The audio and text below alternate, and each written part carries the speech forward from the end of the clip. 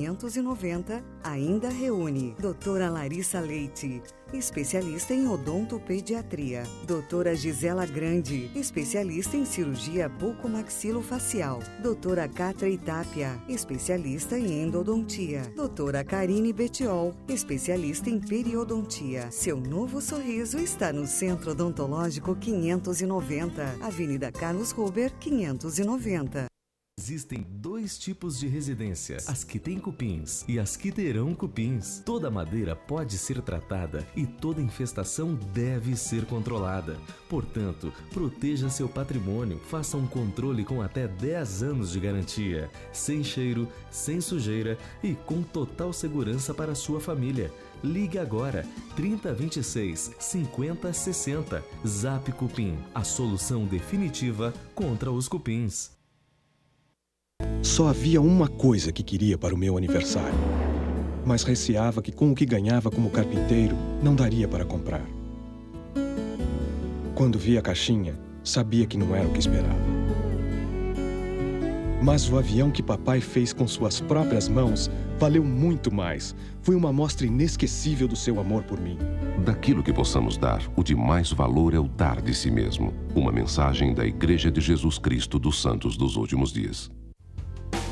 O Laboratório Endocrimeta realiza exames de alta precisão em suas 15 unidades, contando com colaboradores que prestam um atendimento mais humanizado. A segurança e o diagnóstico são garantidos por sistemas informatizados e interfaceados desde o cadastro até a entrega dos resultados. Endocrimeta, sempre fazendo o melhor para você. 3224 1788 endocrimeta.com.br Olá, tudo bem? Eu sou Laí Ribeiro, sou cardiologista, nutrólogo. Estou aqui para conversar com você sobre a sua saúde.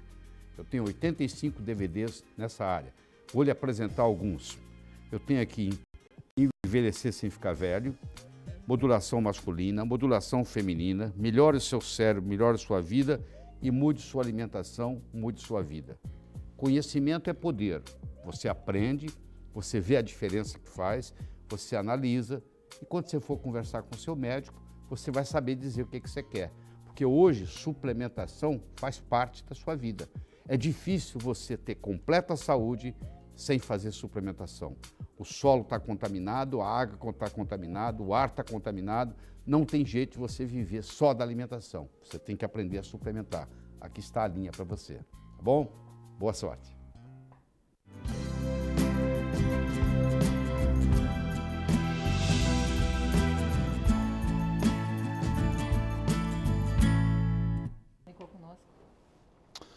Olha, se você está nos acessando agora, nós estamos com o Dr. Henrique, que é reumatologista, imunologista.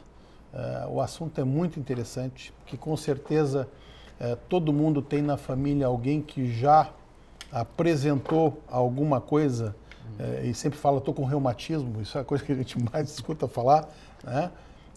E, e, e muitas outras doenças que a gente escuta falar e que tem muito medo. Então, o que a gente, na verdade, que é além de é, da aula que o doutor Henrique vai dar e está dando, né, é desmistificar algumas coisas. A primeira delas foi lupus, que ele acabou de falar no primeiro quadro.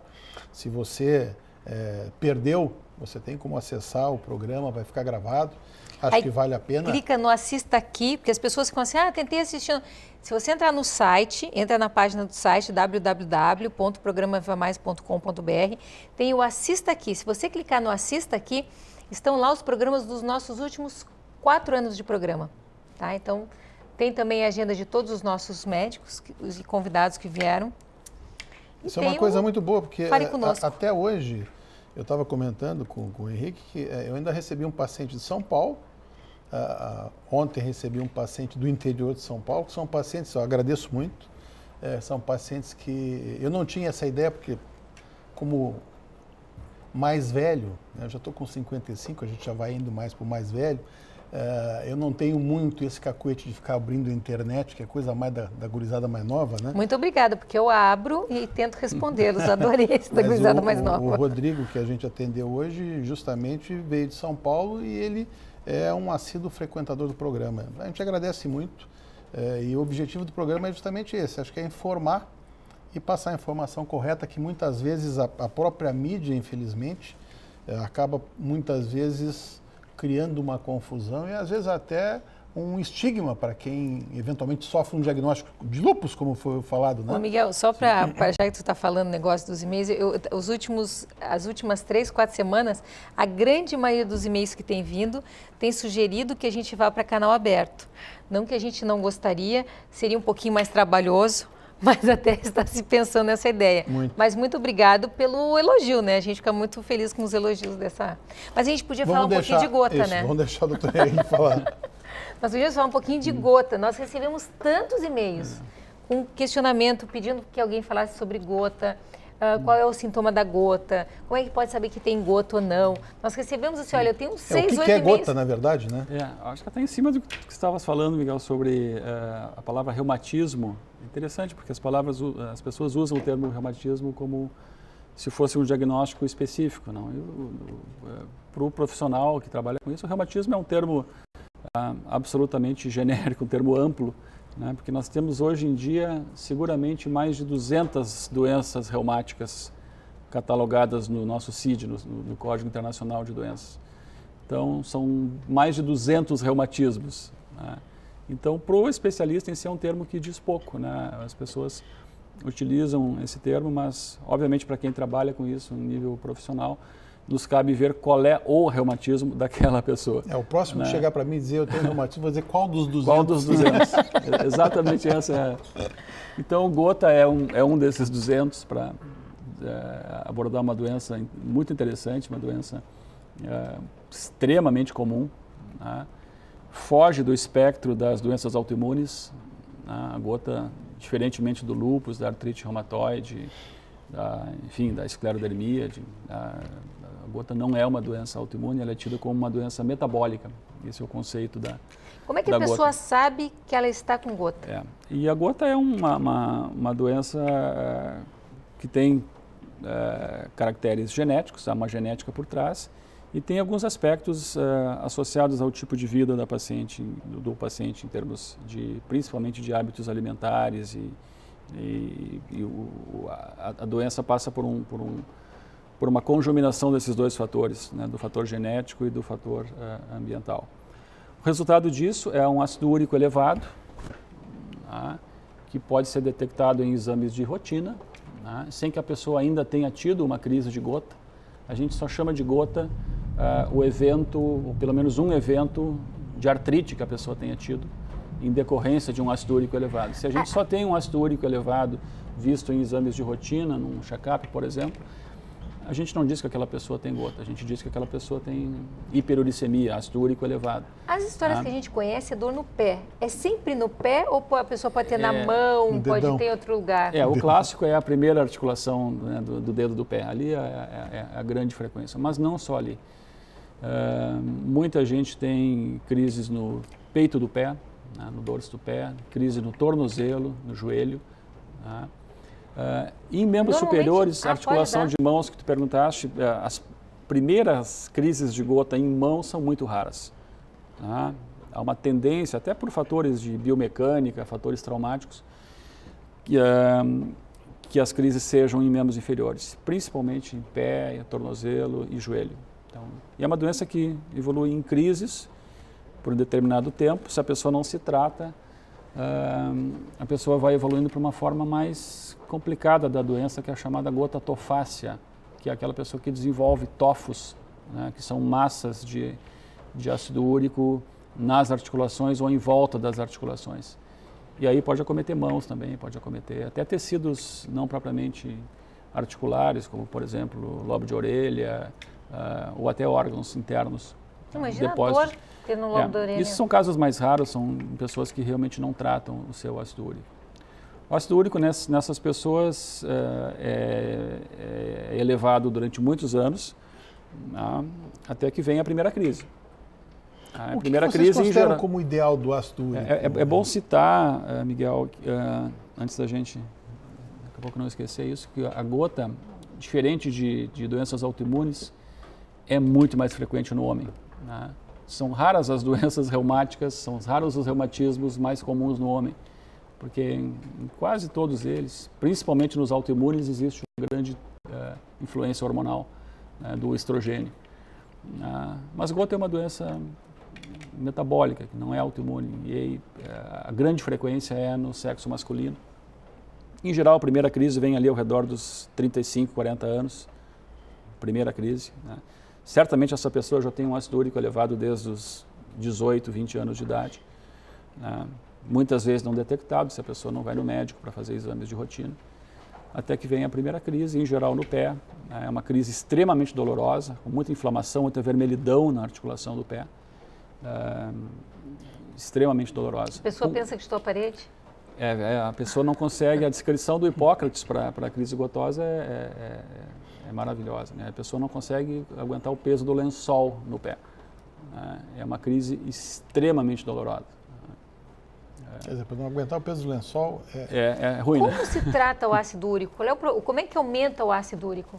Bom, a gente tem que dividir em, duas, em dois, dois, é, dois setores aqui. Aquela pessoa que vai no médico fazer um check-up, né, vai fazer a sua dosagem de glicose, vai fazer o seu colesterol, né, no seu, seus exames de rotina, e, e aparece um ácido úrico muito elevado, essa pessoa tem que ser vigiada, tem que ser orientada para que não evolua por uma crise de gota.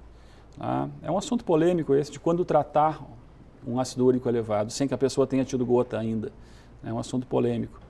Mas a maioria dos, dos, dos autores concorda que um nível acima de 8,5, 9 de ácido úrico, normal até 7 no homem ou até 6 na mulher, um nível acima de 9 deva ser tratado uh, ou deva se fazer uma prevenção.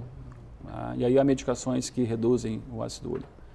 Uh, a, a, a nível antes, alimentar. An, antes que a pessoa propriamente desenvolva gota. Né? Uh, a crise gotosa é tratada, em geral, com anti-inflamatórios, ou colchicina, ou infiltrações locais de, de corticoides, em geral. O tratamento da crise é um tratamento né, tranquilo de ser feito. Mas aí, pós-crise, tem que se começar a pensar em prevenir as próximas. Né? Ser metabólico pela alimentação. Exato. Aí entram aspectos de, de vigilância medicamentosa, aí após a crise se começam ah, ah, medicações capazes de baixar o ácido úrico, a mais comum delas é o alopurinol, né, que se usa a longo prazo, ah, e a orientação dietética. A orientação dietética passa basicamente por cuidados com as purinas, ah, que vão pra gerar... quem está nos ouvindo, o que, que, são as purinas? Purinas são proteínas capazes de gerar ácido úrico. Carne gorda, gordura. É, então, uh, houve, uh, existem muitas lendas populares em relação a, a, a, a, alimentos que podem aumentar o ácido úrico. Né? Hoje em dia se sabe que as purinas de origem vegetal não, não tem problema nenhum. Então não é tomate, pepino, ou, ou ervilhas, ou feijões, ou, e isso realmente não é problema. Né? O problema é a carne Problema gorda. são as purinas de origem animal. E aí a gente tem que citar algumas coisas que, que a gente tem que tomar cuidado. Carne gorda, né, de qualquer espécie vai ter ácido úrico. Né? Os embutidos têm muito ácido úrico, os frutos do mar, né? não tanto o peixe fresco, o peixe fresco não é problemático, mas os frutos do mar, ou então os defumados são problemáticos né, em termos de... Sushi, sashimi, carne crua? Tem que cuidar, né? Se o que tiver defumado, né, o que for fresco, não tem problema. Né? Existe uma predominância por, por raça? Não, gota é uma Não. doença, olha, atinge Porque tem, tem, multirracial. tem raças que consomem mais embutidos, né? É, Embutidos e, e defumados e... mas em termos de genes, Miguel, Não. não, a doença é detectada mundo afora. E aqui a influência do, do ambiente, a influência da alimentação é importante. É bom colocar algumas coisas também de, de é, o que nós estamos falando aqui basicamente é a chamada gota primária, né, que é a gota que classicamente é do homem, né, primeira crise ali, 35, 40 anos, e essa é a doença clássica que a gente chama de primária. Mas existem muitas causas de gota chamada secundária. E gota secundária pode ocorrer em criança, pode ocorrer no idoso, pode ocorrer ah, em inúmeras situações. As mais comuns são o uso de algumas medicações, principalmente diuréticos. Os diuréticos aumentam o nível de ácido úrico e daqui a pouco podem causar uma crise de gota. Né? Ah, eventualmente outras medicações também menos frequentes. Os diuréticos são um problema. Ah, e eventualmente tumores. Né? Vários tipos de tumores podem aumentar o ácido úrico. Então, quando a gente vê uma crise de gota fora do, do, do esperado, fora daquele parâmetro assim de homens de 35, 40 anos, se a gente está vendo uma crise de gota numa criança, né, ou se está vendo uma crise de gota aos 70 anos, a primeira crise, né, ou se está vendo uma crise de gota numa mulher, que não é nada frequente, a gente tem que pensar em, em gota secundária. Né, ou algum medicamento, ou alguma situação de até de investigação de, de neoplasias, de tumores. Então, é. então não é para ninguém ficar assustado em relação a isso, mas quem trabalha com isso a gente. Não, mas é um bom, é um bom é. aviso, é. né? É bom a pessoa tomar é. cuidado, né? Uma primeira crise fora de um, de um, de um espectro habitual, né, que é do homem de meia idade, a gente tem que ficar atento para gota secundária.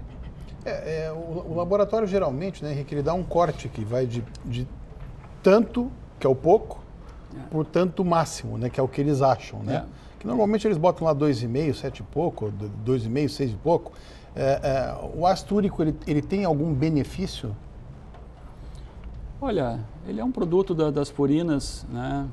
É, eu acho que ele é mais problemático do que, do, do que, que benéfico. Né? Hoje em dia há uma discussão dentro da, da, da do, do, cenário da endocrinologia e da cardiologia sobre o, o, a importância do, do, ácido úrico até como... LDL, né? Antioxidante. É, é, não, e até como fazer a, a hiperuricemia fazendo eventualmente parte do quadro de síndrome metabólica.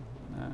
E, e, se a gente for ver, isso não é raro mesmo. A pessoa com síndrome metabólica, isto é, é resistência à insulina, né? abdômen estendido, dislipidemia, obesidade, daqui a pouco tem o seu ácido úrico elevado também. Então se discute se nessa circunstância o ácido úrico elevado não é parte propriamente da síndrome metabólica ele certamente não é benéfico não para a parede arterial. É, se não faz não. bem, o negócio é manter lá no corte inferior. Manter né? baixo. Manter baixo. Manter baixo. Né? Se não for possível com orientação alimentar, né, uh, a gente vai para a parte medicamentosa. Eu acho que a medicação nesses casos assim, é, é essa que tu citou, que é o alopurinol, é, atua especificamente aí, né? Então... É, o alopurinol inibe a xantino-oxidase, inibe uma enzima né, clássica na geração, na, na, formação do ácido úrico. É uma droga muito antiga, o alopurinol, mas ainda muito utilizada. É. Né? Ele não é utilizado na crise, nem deve ser. Ele deve ser utilizado para manter o ácido Na verdade, o que deve ser utilizado é o reumatologista nessa hora, né? É, não dá para se Apareceu a né? crise, não, com certeza, não dá para se automedicar. Apareceu sintoma, acha que é, já procura o reumatologista imediatamente, né? Essa é o, é a indicação correta. É, mas ninguém se automedica nessas situações, né?